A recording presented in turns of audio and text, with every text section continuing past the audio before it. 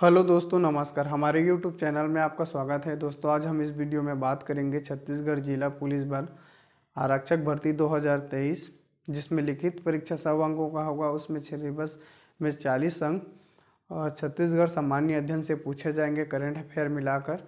तो आज हम इस वीडियो में छत्तीसगढ़ सामान्य अध्ययन का हमारा क्या है, चौथा क्लास है, जिसमें हम छत्तीसगढ़ के क्या है, प्रशासनिक इकाई के बारे में बात करेंगे। क्या होता है छत्तीसगढ़ की प्रशासनिक इकाई? तो छत्तीसगढ़ को, की जो प्रशासन है उसको सुचारू रूप से चलाने के लिए क्या है? विभिन्न स्तरों में उसका क्या है? बांटा जाता है। जैसे छत्तीसगढ़ को क्या है? पाँच संभाग में बांटा गया है। संभाग को ज़िले में, ज़िले को क्या है? अनुभाग में, अनुभाग तहसील और विकास खंड में। फिर लास्ट स्तर में क्या है? ग्राम पंचायत।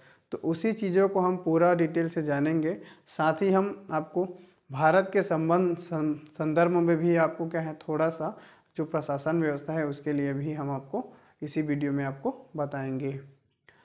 तो चलिए दोस्तों, हम आज हम अच्छे से जानते हैं कि क्या होता है प्रशासनिक इकाई, ठीक। तो इसमें सबसे पहले दोस्तों, आपको क्या है जो प्रशासनिक इकाई ही है तो भारत का सबसे बड़ा क्या है जो प्रशासनिक अधिकारी कौन होता है? तो मंत्रिमंडल सचिव। भारत का सबसे बड़ा, ठीक? किसका भारत का सबसे बड़ा सबसे बड़ा प्रशासनिक अधिकारी।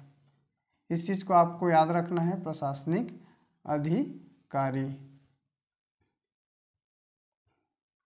भारत का सबसे बड़ा प्रशासनिक अधिकारी कौन होता है?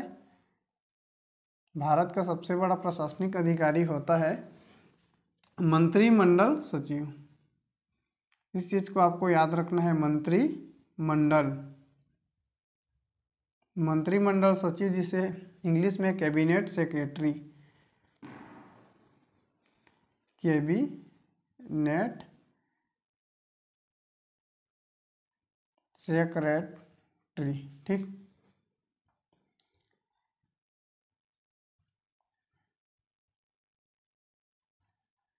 क्या है कैबिनेट सेक्रेटरी ठीक। ये क्या है? भारत का सबसे बड़ा क्या है? प्रशासनिक अधिकारी है। ठीक है दोस्तों? क्या है? भारत का सबसे बड़ा ये प्रशासनिक अधिकारी। वर्तमान में भारत का सबसे बड़ा क्या है? प्रशासनिक अधिकारी कौन है? तो वर्तमान में भारत का सबसे बड़ा प्रशासनिक अधिकारी है वर्तमान में राजीव गौबा, ठीक। ये मंत्रिमंडल क्या है? सचिव है। भारत के क्या है? मंत्रिमंडल सचिव है राजीव गौबा। राजीव गौबा कौन है? भारत का मंत्रिमंडल सचिव है। भारत का पहला मंत्रिमंडल सचिव कौन है? तो भारत का पहला मंत्रिमंडल सचिव है एन आर और भारत का प्रथम जो मंत्रिमंडल सचिव कौन है? तो एन आर पिल्लई। ठीक, इतने चीज़ को आपको याद रखना है। अब ये समझेंगे कि दोस्तों जो छत्तीसगढ़ है, किसी भी राज्य है, ठीक है? राज्य का सबसे बड़ा प्रशासनिक अधिकारी कौन होता है? तो राज्य का सबसे बड़ा प्रशासनिक अधिकारी होता है मुख्य सचिव। कौन है? मुख्य सचिव। ठीक? यह राज्य का सबसे बड़ा क्या है? प्रशासनिक अधिकारी होता है। छत्तीसगढ़ का वर्तमान में मुख्य सचिव कौन है? तो छत्तीसगढ़ का वर्तमान में मुख्य सचिव है अमिताभ जैन। अमिताभ जैन कौन है? वर्तमान में छत्तीसगढ़ का मुख्य सचिव है और ये कितने नंबर का है? तो ये बारहवें नंबर का, ठीक? अमिताभ जैन क्या है? छत्तीसगढ़ का मुख्य सचिव है और ये बारहवें नंबर का है, ठीक? और छत्तीसगढ़ का प्रथम मुख्य सचिव कौन था? तो छत्तीसगढ़ का फ़र्स्ट, ठीक?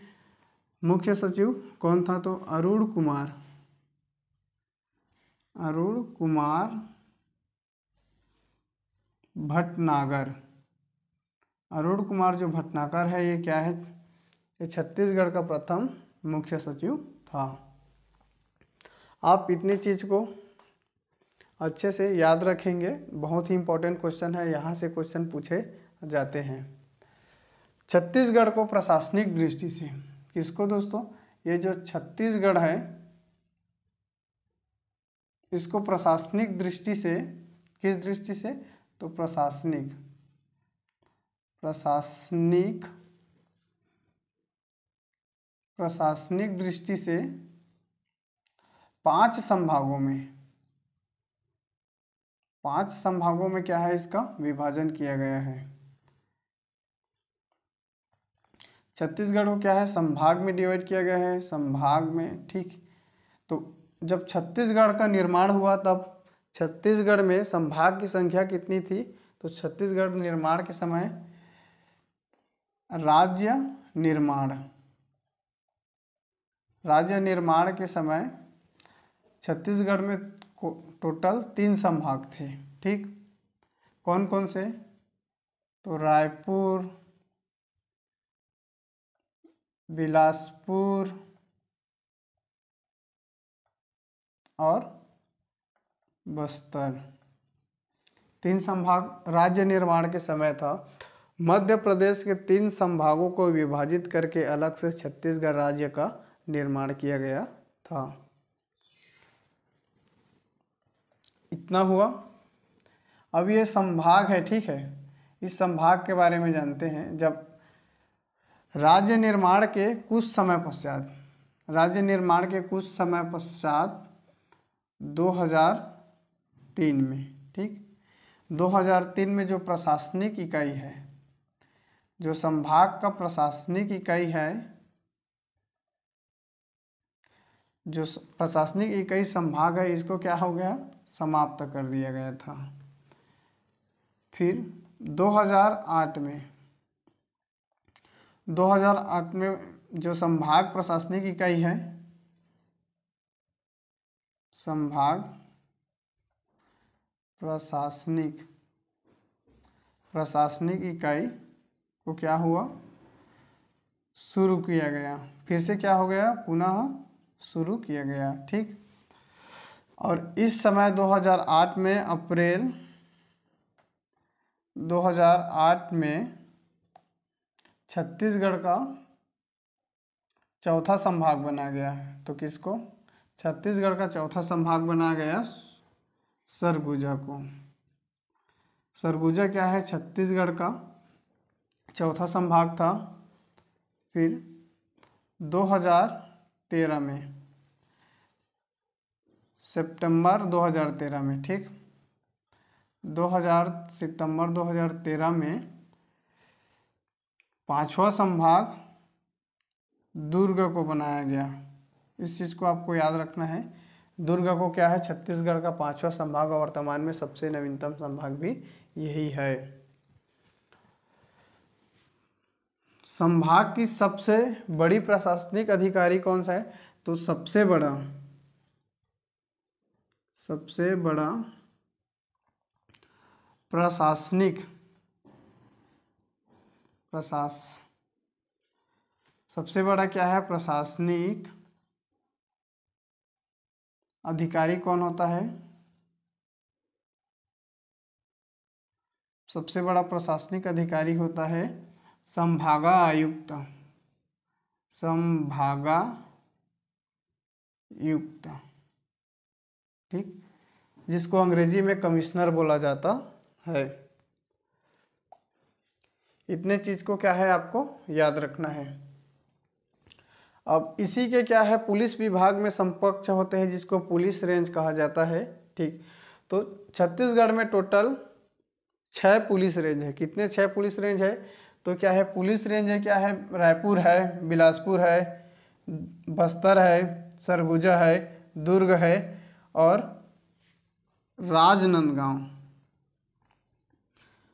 राजनांदगांव को 2023 में कित, कब?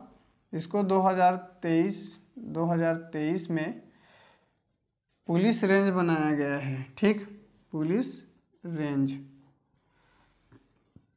बनाया गया है। और जो पुलिस रेंज होता है, इसमें सबसे बड़ा अधिकारी कौन होता है? तो सबसे बड़ा अधिकारी बड़ा अधिकारी कौन होता है? आईजी होता है। कौन से दोस्तों? आईजीपी, जिसको पुलिस महानिरीक्षक बोलते हैं। पुलिस महानिरीक्षक। महा निरीक्षक ठीक? पुलिस महानिरीक्षक होता है। ये छः पुलिस रेंज है। टोटल कितना पुलिस रेंज है? तो छः पुलिस रेंज है, ठीक?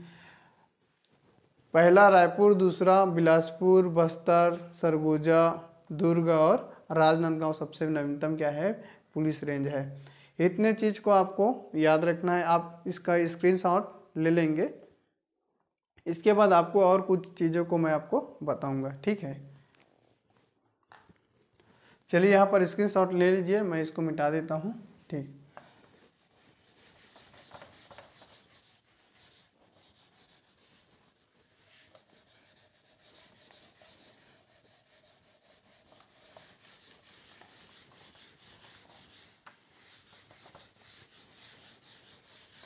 छत्तीसगढ़ में टोटल कितने संभाग हैं?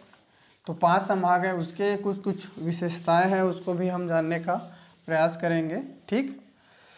तो अब छत्तीसगढ़ में कुल कितने संभाग हैं? पाँच। यहाँ पर देखते हैं। वर्तमान में टोटल पाँच संभागे हैं, ठीक? इन सभी संभाग में तो पहला क्या है? रायपुर। ये जो रायपुर संभाग है तो इसका गठन कब हुआ था?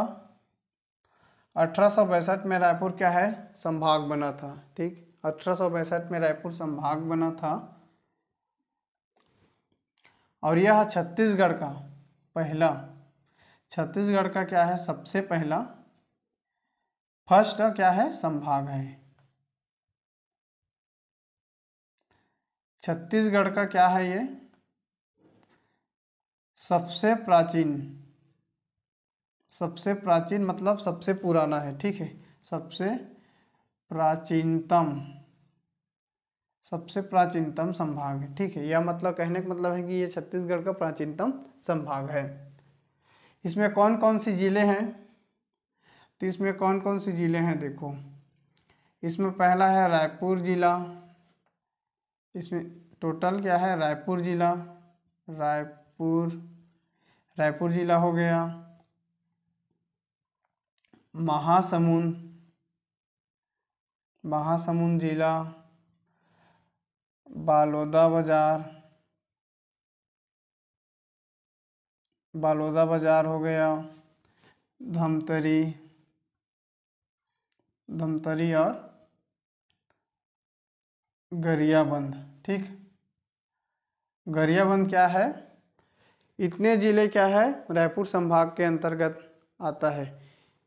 इन सभी फैक्टों को आप याद रखेंगे क्योंकि यहाँ से क्वेश्चन पूछा जाता है। अगला संभाग है हमारा बिलासपुर।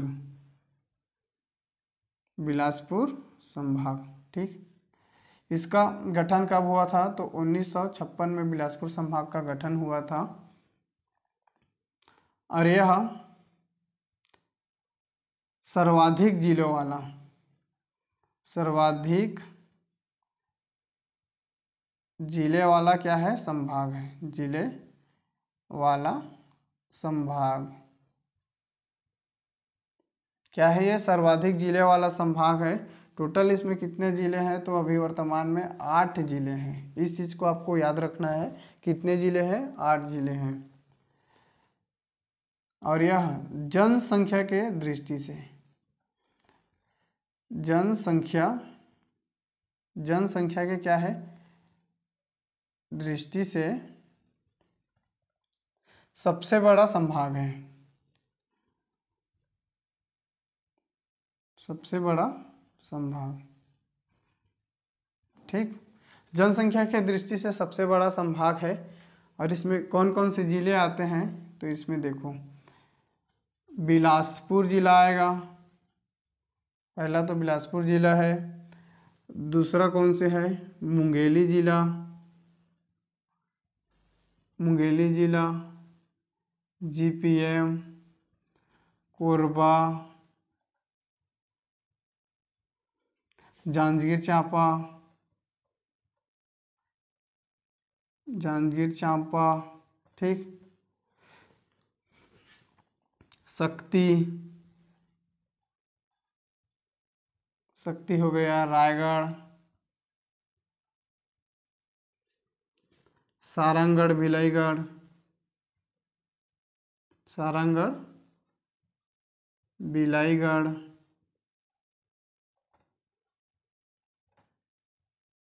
कौन, देखो, आठ हो गया टोटल। एक, दो, तीन, चार, पाँच, छः, सात, आठ, ठीक। आठ टोटल क्या है, इस संभाग में ज़िले हैं। तो यह सर्वाधिक ज़िले वाला संभाग है। जनसंख्या की दृष्टि से सबसे बड़ा संभाग है। इतनी चीज़ों को आपको याद रखना है। ठीक, इतनी चीज़ को आपको याद रखिए। चलिए इसको मैं मिटाता हूँ, स्क्रीनशॉट ले लेंगे।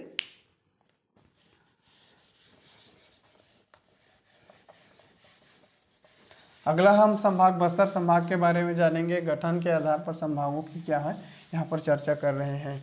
अगला संभाग हमारा क्या है, बस्तर संभाग। बस्तर संभाग का गठन कब हुआ था? तो बस्तर संभाग का गठन उन्नीस सौ इक्यासी में।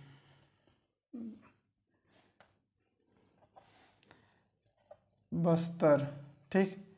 ये जो बस्तर संभाग है, इसका गठन कब हुआ था? तो इसका गठन उन्नीस सौ इक्यासी में इसका गठन हुआ था। और यह क्षेत्रफल के आधार पर, क्षेत्रफल के आधार पर सबसे बड़ा, ठीक? सबसे बड़ा संभाग है, ठीक? क्षेत्रफल के आधार पर क्या है? ये सबसे बड़ा संभाग है।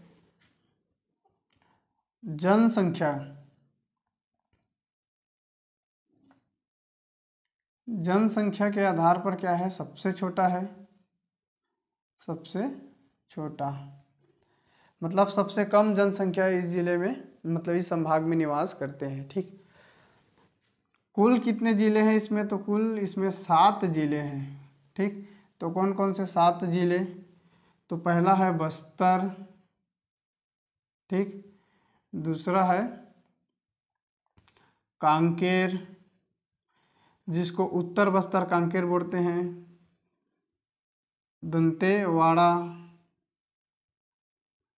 दंतेवाड़ा। दंतेवाड़ा जिसको दक्षिण बस्तर कांकेर बोलते हैं, इसका क्या नाम है? नहीं, दक्षिण बस्तर दंतेवाड़ा। नारायणपुर, नारायण, नारायणपुर, बीजापुर बीजापुर, सुकमा और कोंडा गाँव कोंडा गाँव इतना क्या है? बस्तर संभाग के अंतर्गत आने वाले ज़िले हैं। इन सभी चीज़ों को क्या है आपको याद रखना है? बस्तर संभाग का गठन उन्नीस सौ इक्यासी में हुआ था। क्षेत्रफल के आधार पर सबसे बड़ा संभाग है। जनसंख्या के आधार पर सबसे छोटा जनसंख्या वाला संभाग है। सात इसमें ज़िले हैं। बस्तर, कांकेर, दंतेवाड़ा, नारायणपुर, बीजापुर, सुकमा और कोंडागांव। इतनी चीज़ को आपको याद रखना है। इतनी चीज़ आपको याद हो गया? मिटा दो इसको।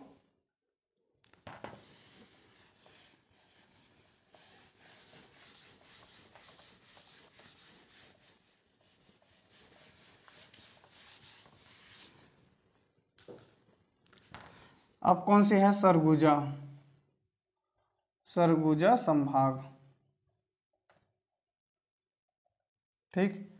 इसका गठन कब हुआ था? तो अप्रैल 2008 में। और यह राज्य निर्माण के बाद। क्या है ये? राज्य निर्माण के बाद गठित पहला संभाग है। के बाद गठित प्रथम संभाग। प्रथम संभाग। ठीक? देखो। छत्तीसगढ़ का प्रथम संभाग रायपुर है। अठारह में संभाग बना था।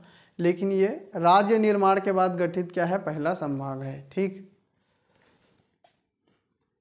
कुल कितने ज़िले हैं इसमें? तो टोटल छः ज़िले हैं। कौन कौन से ज़िले हैं? तो एम सी बी है पहला। एम सी बी दूसरा क्या है? कोरिया है।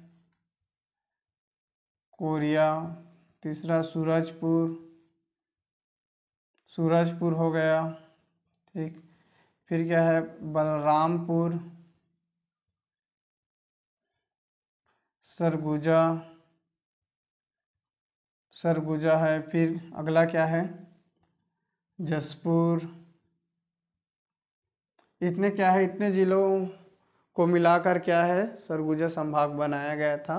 खैरा, ये जो क्या है? मनेन्द्रगढ़ चिरमिरी और भरतपुर जिला है।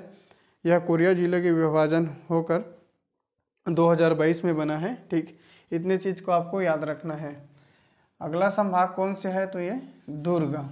ठीक है दोस्तों, दुर्ग संभाग है। हमारा क्या है? पांचवा संभाग। ठीक दुर्ग पांचवा संभाग है, जिसका गठन कब हुआ था? तो इसका गठन सितंबर। कब हुआ था? 2013 में। और यह सबसे नवीनतम संभाग है। नवीनतम।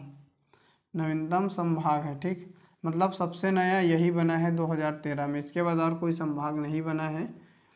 इसमें क्या है ये?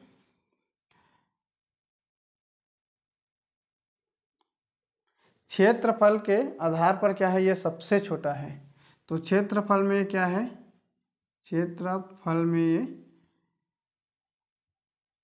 सबसे छोटा सबसे छोटा, ठीक? क्षेत्रफल के आधार पर ये क्या है? सबसे छोटा संभाग है। इतना चीज़ को आपको याद रखना है। और इसमें कुल ज़िले की संख्या कितनी है? तो इसमें कुल जिलों की संख्या कितनी है? सात है, ठीक? कौन कौन से है? तो पहला तो अपना दुर्ग ही हो गया, ठीक? फिर बालोद, बेमेतरा राजनाथ गाँव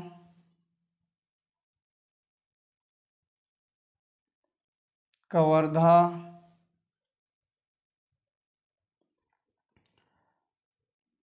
के सी जी एम एम ए सी।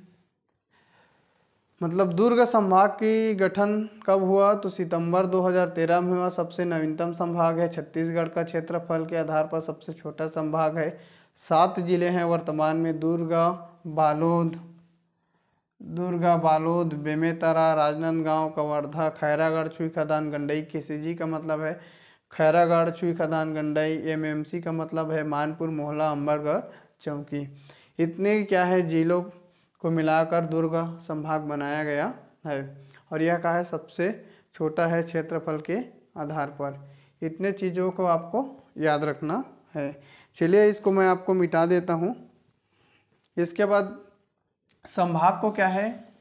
ज़िले में विभाजित किया गया है, ठीक? संभाग को फिर क्या है? ज़िले में विभाजित किया गया है।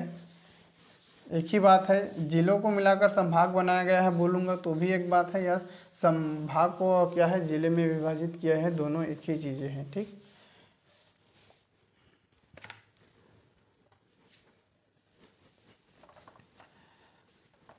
तो संभाग को टोटल पाँच, छत्तीसगढ़ को पाँच संभाग में विभाजित किया गया है और ये पाँच संभाग है, इसको विभिन्न जिलों में विभाजित किया गया है तो यहाँ पर देखेंगे। अब ये ज़िले हैं, ठीक? तो ज़िले को भी हम क्या है? चार पाँच तरीके से देखेंगे, ठीक? पहला है खाली ज़िले, जो सामान्य ज़िले हैं, उसके बारे में जानेंगे। सामान्य ज़िले, और फिर है आकांक्षी ज़िले। आकांक्षी आकांक्षी ज़िले। छत्तीसगढ़ में कुल कितने आकांक्षी ज़िले हैं? ठीक। फिर छत्तीसगढ़ में टोटल जैविक ज़िले कितने हैं? जैविक ज़िले।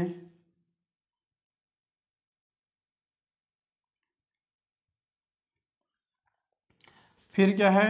छत्तीसगढ़ में टोटल अनुसूचित ज़िले कितने हैं? अनुसूचित ज़िले कितने हैं? इसको हम लोग देखेंगे। छत्तीसगढ़ में टोटल अनुसूचित ज़िले कितने हैं? तो सबसे पहले हम सामान्य ज़िले के बारे में जानते हैं। तो छत्तीसगढ़ में जब छत्तीसगढ़ निर्माण हुआ, राज्य निर्माण के समय, राज्य क्या है? निर्माण के समय कितने ज़िले थे? तो सोलह ज़िले था, ठीक? वर्तमान में कुल कितने ज़िले हैं? तो टोटल तैंतीस ज़िले हैं। छत्तीसगढ़ का पहला जिला कौन से है? तो छत्तीसगढ़ का सीजी लिख देता हूँ यहाँ पर, सीजी का फ़र्स्ट जिला कौन से है? जिला तो देखो 1861 में क्या है? दो ज़िले का निर्माण हुआ था, रायपुर, बिलासपुर और तीसरा था संबलपुर जिला। ठीक? ये जो संबलपुर जिला है, ये 1905 में। कब? 1905 में इसका क्या हो गया? ट्रांसफ़र हो गया। जब 1905 में मध्य प्रांत और बंगाल प्रांत का पुनर्गठन किया गया, तब बंगाल प्रांत के जो सरगुजा संभाग वाले जो क्षेत्र हैं, उसको छत्तीसगढ़ में और ये संबलपुर जो क्षेत्र है, मध्य प्रांत का, इसे बंगाल प्रांत में क्या हो गया? स्थानांतरित कर दिया गया। तो इसको क्या है? बंगाल प्रांत में इसका क्या हो गया? ट्रांसफ़र हो गया, पुनर्गठन किया तो। जगह वही है, लेकिन उसको उस एरिया में शामिल कर दिया। अब ये उठ के उधर जाएगा, ऐसा नहीं है, ज़मीन कहीं पर जाता नहीं है, ठीक? तो ये बंगाल जो प्रांत है, इसका क्या हो गया? ट्रांसफ़र हो गया, ठीक? बंगाल प्रांत में। इस चीज़ को आपको याद रखना है। अब छत्तीसगढ़ का सबसे नया जिला कौन है? तो सबसे नवीनतम नवीनतम जिला अभी कौन है? तो अभी तैंतीसवा जिला कौन बना है? शक्ति। तो शक्ति क्या है? ये छत्तीसगढ़ का सबसे क्या है? नवीनतम जिला है। इस चीज़ को आपको याद रखना है। इतने चीज़ों को क्या है? आपको याद रखना है। और ज़िले का जो सबसे बड़ा प्रशासनिक अधिकारी होता है कौन है? प्रशासनिक। ज़िले का प्रशासनिक अधिकारी कौन है? सबसे बड़ा ज़िले का सबसे बड़ा प्रशासनिक अधिकारी कलेक्टर होता है, ठीक? कलेक्टर। और पुलिस का सबसे बड़ा,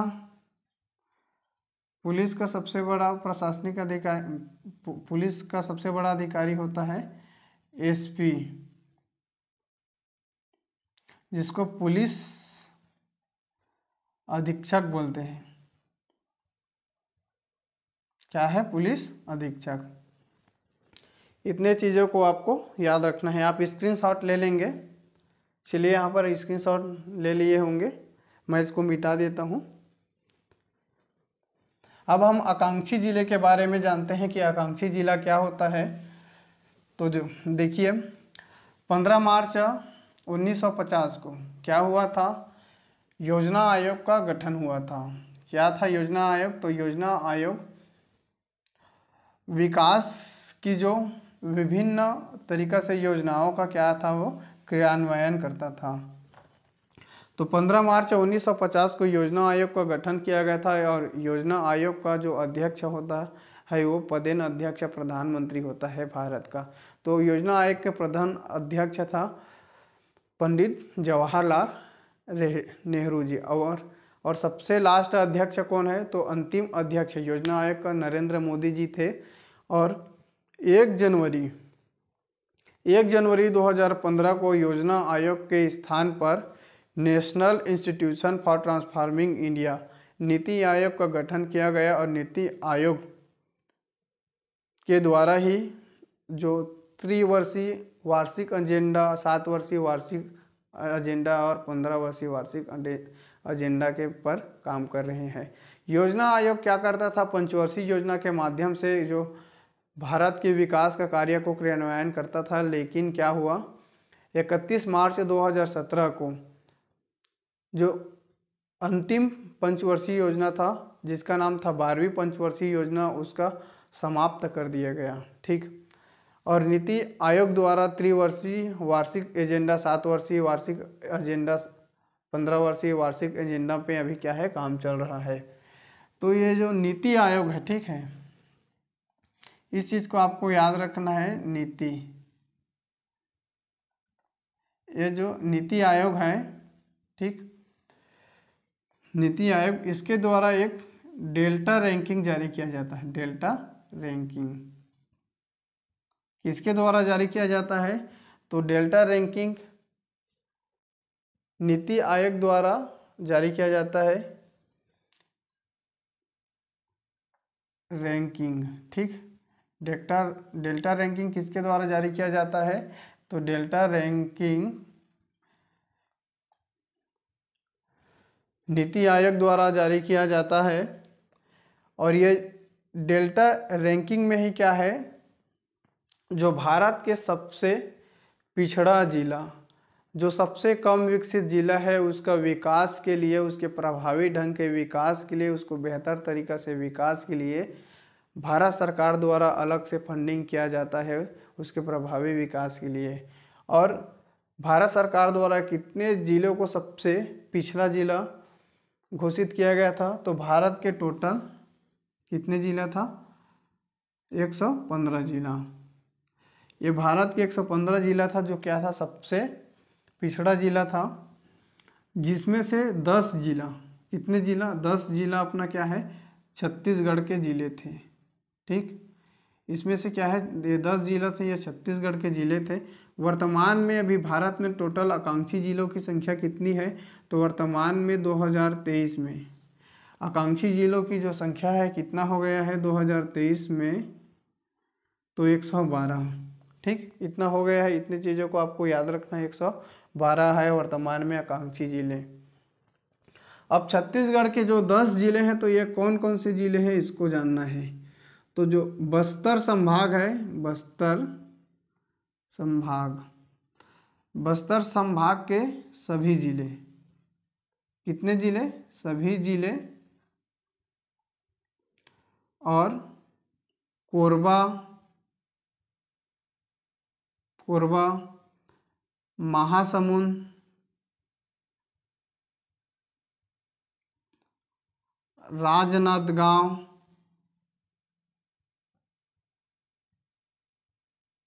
ठीक है। ये जो राजनांदगांव है, ये सभी क्या है? आकांक्षी ज़िले थे, ठीक।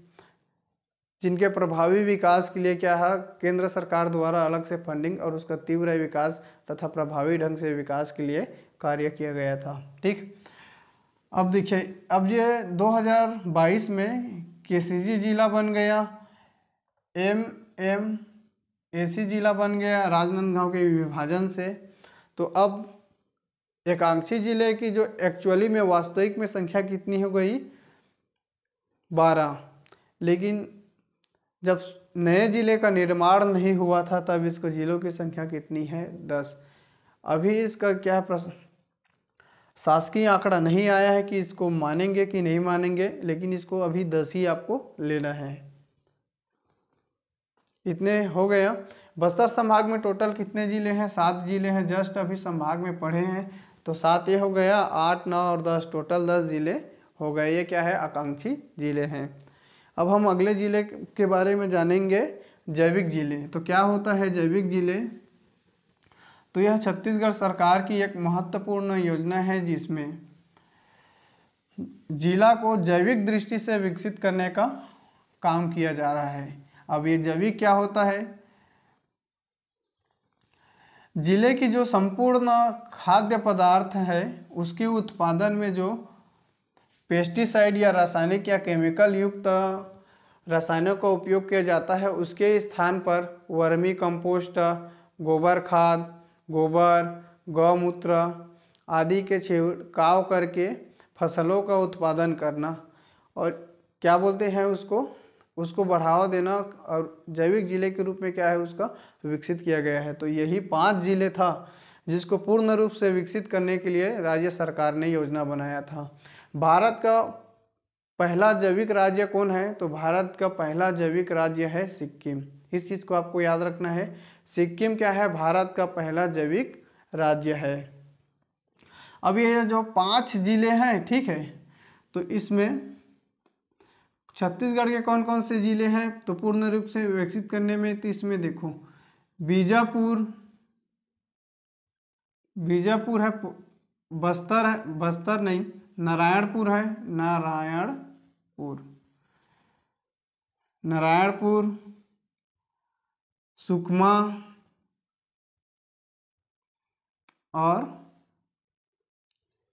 दंतेवाड़ा और गरियाबंद। कितने ज़िले को? गरियाबंद। ये जो गरियाबंद जिला है, इसको क्या है?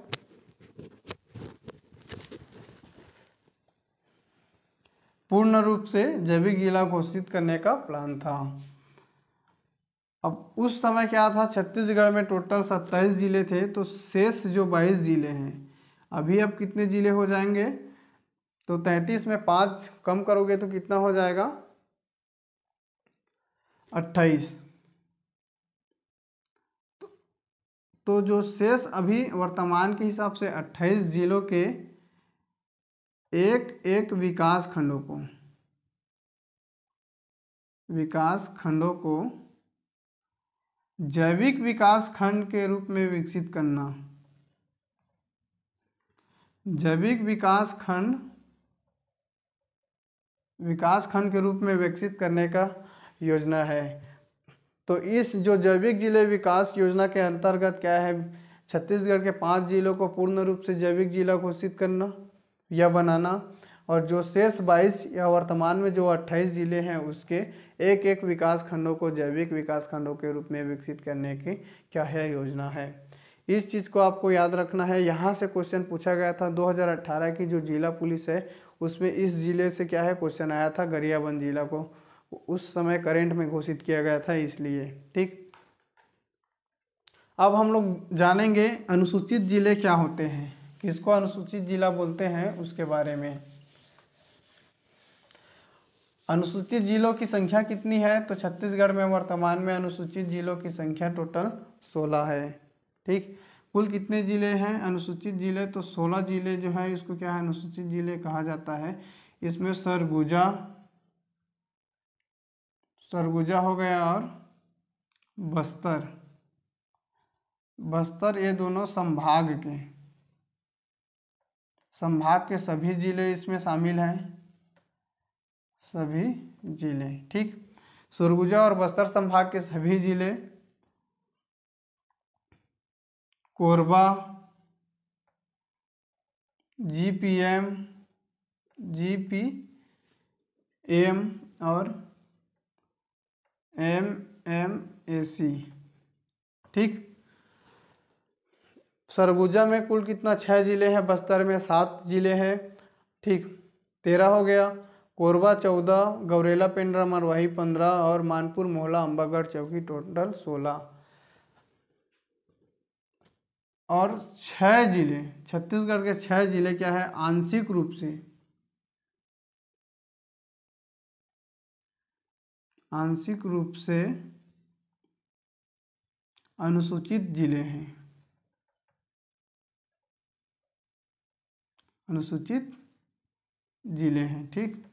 आंशिक रूप से क्या है? अनुसूचित ज़िले हैं और छत्तीसगढ़ के पाँच हज़ार पचास जो ग्राम पंचायत है, क्या है ग्राम पंचायत, ठीक? छत्तीसगढ़ के पाँच हज़ार पचास ग्राम पंचायत क्या है ये? अनुसूचित ग्राम पंचायत है, अनुसूचित। अनुसूचित ग्राम पंचायत है, ठीक? इतने चीज़ों को आपको याद रखना है। यहाँ से क्वेश्चन पूछा जाता है। अब ये ज़िले हैं, ठीक है। जिलों को और किसमें विभाजन किया जाता है? जिलों का विभाजन अनुविभाग में किया जाता है। बहु, दो या दो से अधिक विकास जो अनुविभाग है, उसको मिलाकर ज़िले का क्या है, निर्माण किया जाता है या ज़िले को अनुविभाग में विभाजित किया जाता है। तो ठीक, अनुविभाग। इस चीज़ को याद रखना है। वर्तमान में छत्तीसगढ़ में कुल कितने अनुविभाग है? तो वर्तमान में छत्तीसगढ़ में एक सौ बाईस अनुविभाग है। यहाँ का अनुविभाग का सबसे बड़ा अधिकारी कौन है? प्रशासनिक तो एस डी एम ये राज्य के जो डिप्टी कलेक्टर, रैंक क्या होता है? ये अधिकारी होता है, प्रशासनिक अधिकारी। डिप्टी कलेक्टर रैंक है। और पुलिस विभाग में कौन होता है? तो डीएसपी रैंक के अधिकारी यानी विभाग में होता है, जिसको अगर वह सिटी में होता है, ठीक है? डीएसपी अगर सिटी में रहेगा तो क्या सिटी अनुभाग में तो इसको सीएसपी बोलते हैं? रूरल रूरल मतलब ग्रामीण में रहेंगे तो इसको क्या बोलते हैं? S S D O P बोलते हैं एस डी ओ पी ठीक? अगर ये मुख्यालय में है हेड क्वार्टर में है, ठीक है?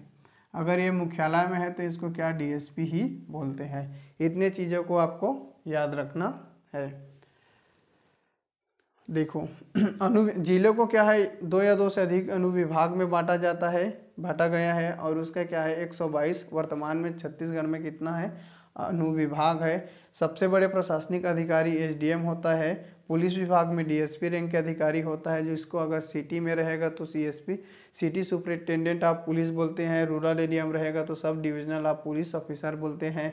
और अगर डीएसपी जो पुलिस मुख्यालय में रहेंगे, जैसे एसपी ऑफ़िस वगैरह में, तब उसको मुख्यालय का डीएसपी बोला जाता है। इतने चीज़ को आपको याद रखना है। ठीक है, इतने चीज़ को आप याद रखेंगे।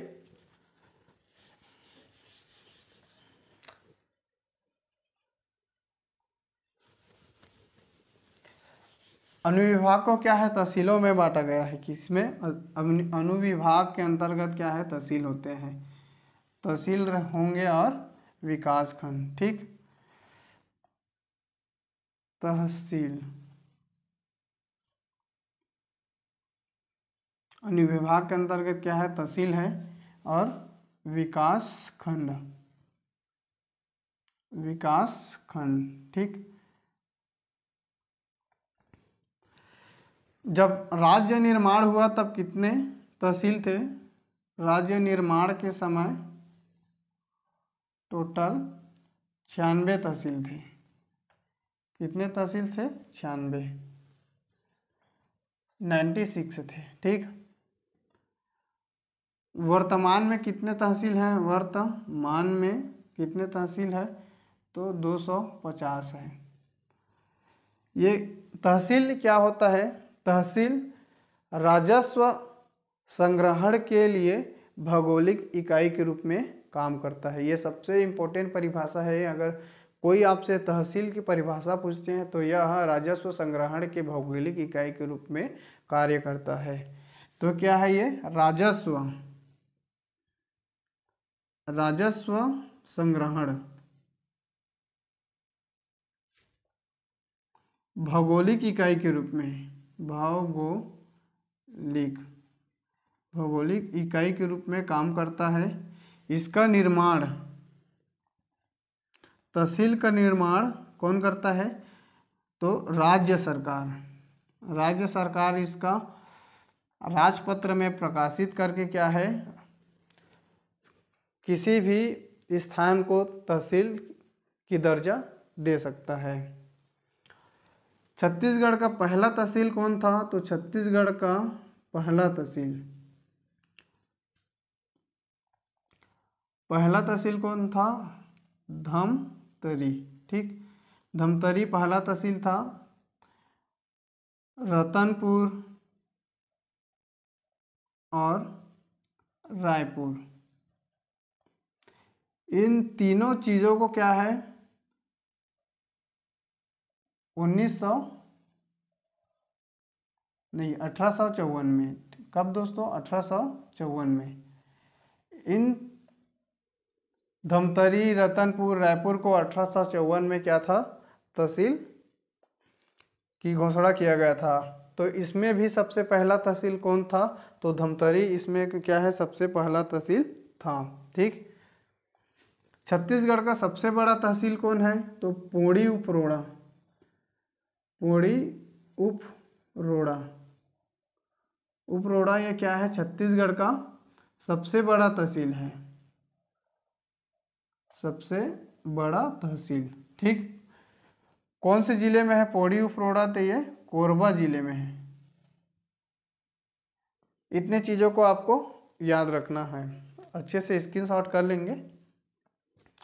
फिर आगे देखते हैं। विकास खंड तो राज्य निर्माण के समय कितना था विकास खंड राज्य निर्माण। राज्य निर्माण के समय विकास खंडों की संख्या कितनी थी? तो एक सौ छियालीस था। वर्तमान में कितना है? वर्तमान में जो विकास खंड की संख्या भी एक सौ छियालीस है। तो ऐसा क्या हुआ कि जो तहसील राज्य निर्माण के समय छियानवे था, वो 250 हो गया और जो विकास खंड है उसकी संख्या 146 था, वो आज भी 146 है। तो ये जो विकास खंड है, इसका परिभाषा क्या है? तो विकास खंड ग्रामीण विकास के लिए भौगोलिक इकाई के रूप में काम करता है। क्या है इसका परिभाषा? तो विकास खंड भौगोलिक इकाई के रूप में काम करता है ग्रामीण विकास की। तो ये क्या है? इसका परिभाषा क्या लिखेंगे? ग्रामीण। ग्रामीण विकास की भौगोलिक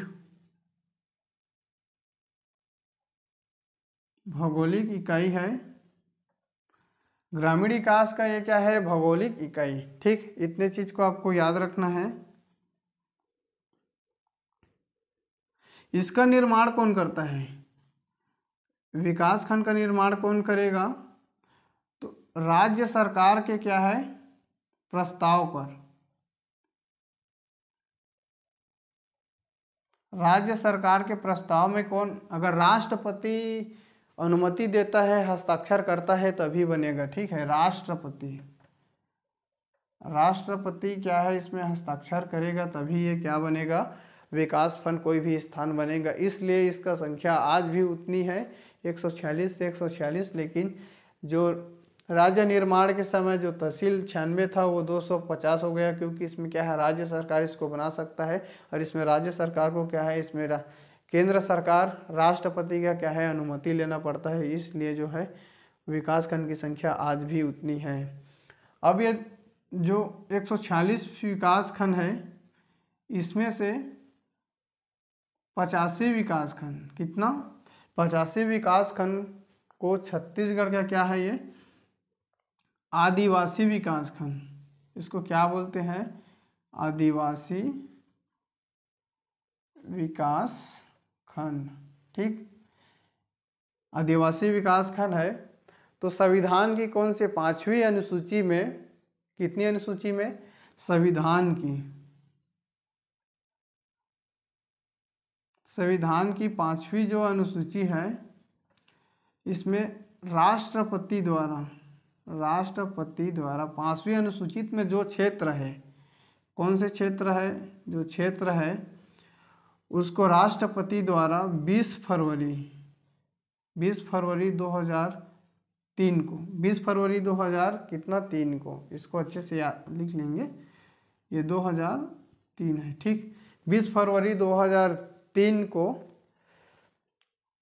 भारत के जो गजट है, जिसको राजपत्र बोलते हैं, उसमें इसको असाधारण राजपत्र में प्रकाशित किया और उसमें छत्तीसगढ़ का पचासी विकास खंड को आदिवासी विकास खंड का दर्जा दिया गया है। और ये जो अनुसूचित ज़िले हैं, वो ये विकास खंड के आधार पर ही अनुसूचित ज़िले इसको कहा जाता है, क्योंकि जिस ज़िले का सभी विकास खंड आदिवासी विकास खंड है, उसको अनुसूचित जिला कहा जाता है। इतने चीज़ को आपको याद रखना है। अब आगे हम इसको आगे देखते हैं। थोड़ी सी और चीज़ है दो मिनट का। इसको भी आपको मैं समझा देता हूँ अच्छे से। ठीक? मिटा दूँ इसको। तो इसमें एक क्वेश्चन और है कि छत्तीसगढ़ का सबसे बड़ा विकास खंड कौन है? तो सबसे बड़ा सबसे बड़ा विकास खंड बिल्हा है। बिल्हा विकास खंड जो कहाँ है? बीएसपी बीएसपी मतलब बिलासपुर में है। ये बिल्हा विकास खंड छत्तीसगढ़ का क्या है? सबसे बड़ा विकास खंड है। इस चीज़ को आपको याद रखना है, ठीक? मैं मिटा ले, मिटा लिए रहता हूँ। आप स्क्रीन शॉट ले लेंगे, इस चीज़ों को आपको अच्छे से नोट भी कर लेंगे, ठीक?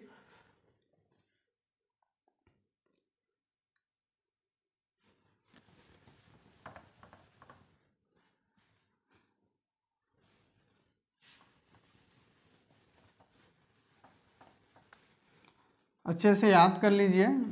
अब यहाँ देखिए, अब ये तहसील है। तहसील के अंतर्गत क्या है? विभिन्न ग्राम पंचायत रहते हैं। बहुत से, बहुत विकास खंड के अंतर्गत भी क्या है? ग्राम पंचायत है। तो इन दोनों को क्या है? ग्राम पंचायत में डिवाइड किया गया है। किसमें? ग्राम पंचायत। ठीक? ग्राम पंचायत। तो इसमें जो प्रशासनिक अधिकारी होता है, उसको ग्राम सचिव बोलते हैं। ग्राम पंचायत सचिव। सचिव। तो ये जो ग्राम पंचायत सचिव है, यह छत्तीसगढ़ का या भारत का सबसे छोटा क्या है, प्रशासनिक अधिकारी है। यह क्या है? सबसे छोटा। सबसे छोटा प्रशासनिक अधिकारी है। अधिकारी।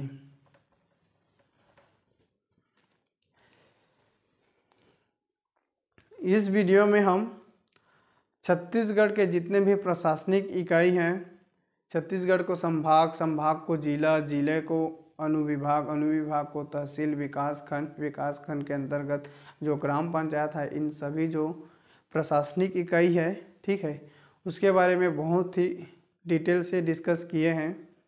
यह वीडियो आपको कैसा लगा, कमेंट बॉक्स में कमेंट करके ज़रूर बताएँगे। साथ ही, अगर आप अभी तक वीडियो देख रहे होंगे तो आप किसी न किसी एग्ज़ाम का क्या है, अच्छे से तैयारी कर रहे होंगे तो आपको बहुत बहुत शुभकामनाएँ। साथ ही, आपको यह जो वीडियो है, उसको क्या है, आपको लाइक कर देना है और शेयर कीजिए, लाइक, शेयर, सब्सक्राइब कर दीजिए। Thank you.